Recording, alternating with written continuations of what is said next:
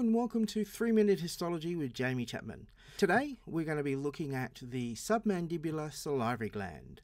Uh, it's one of the three paired major salivary glands of the oral cavity, the other two being the parotid and the sublingual salivary gland.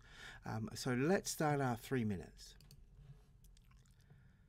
So one thing that really uh, differentiates the submandibular salivary gland from the parotid and the sublingual salivary gland is its composition of acini.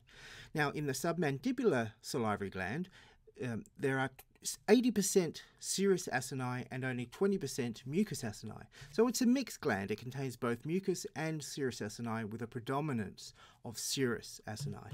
And that's what accounts for this largely basophilic staining associated with this gland. You can actually see it's divided up into lobules, like we were talking about uh, with the parotid salivary gland. Now, it's an exocrine gland, so it uses ducts to release its secretions onto the surface of the epithelium from which it was derived, so therefore we're talking about the oral cavity. And within these lobules, uh, we actually have um, intralobular ducts, and there are uh, two types. You can either find intercalated ducts or striated ducts. Intercalated drain the acini that then drains into the striated, and then they move into the larger ducts which we find in the connective tissue, such as the interlobar ducts, uh, interlobular ducts and the lobar ducts. Just ignore the shape of that one there. So let's have a look at this uh, in a little bit more detail we can see some adipose sort of scattered around, but we can see that the pre preponderance of this acini are actually uh, serous acini. So we've got our rings of cells with our round basally located nucleus, basal basophilia associated with the localization of rough endoplasmic reticulum um, at the base of the cell, producing the enzymes which is forming the, the uh, major part of the secretion of the submandibular. Then we've got this pale acidophilic uh, structure with the lumen here. These are our ducts. So these are our intralobular ducts draining all of the secretions from our glands.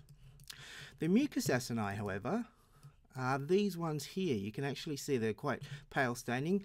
Mucus, because it's a very uh, glycosylated glycoprotein, it means it's got lots of sugars on its outside, hides its protein backbone from the staining of eosin. So it, it tends not to stain with um, our stains very well. And so the nuclei associated with the mucus uh, secreting cells are very flattened, basally located, and that's really classic of um, these mucus acini. One thing you will find with um, mixed glands that have both mucus and serous is that if the serous are uh, associated with the mucus glands, we often get these little caps of cells, which we call a serous demilune, sort of half moon shape of serous cells overlying a mucus acinus. So you can see those if you sort of zoom around and able to find them. So here we've got our ducts leading down into striated ducts. Again, striations down the bottom here, indicating this is a striated duct.